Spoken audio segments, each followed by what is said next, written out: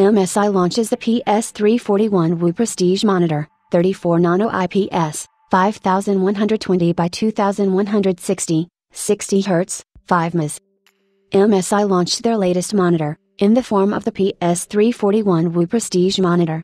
This one comes in an all-white design with gold MSI accents, a welcome departure from the usual black color scheme preferred for these particular peripherals. The Prestige has been built with screen real estate and color accuracy in mind, a monitor designed purely for gaming this is not. Its 21 to 9 aspect ratio is already slightly hit or miss in official game support, compounded by the 60 Hz refresh rate and 5 ms response time.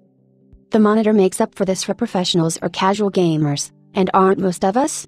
Due to its resolution and color rendition, tough, 5120 by 2160 pixels covering 98% of the DCI-P3 color gamut and 100% sRGB. Display HDR 600 certification is also on board, meaning up to 600 nits peak brightness and high contrast HDR content delivery. The monitor's contrast ratio is set at 1200 to 1, and support for display of 1.07 billion colors. Connectivity stands at 2x HDMI 2.0, 1x DisplayPort, 1x USB 3.1 Gen 1 Type A, 1x USB 3.1 Gen 1 Type B, 1 by 3.5 mm headphone jack, mic in and an audio jack. It's currently available for pre-order in select retailers for $1,199.99.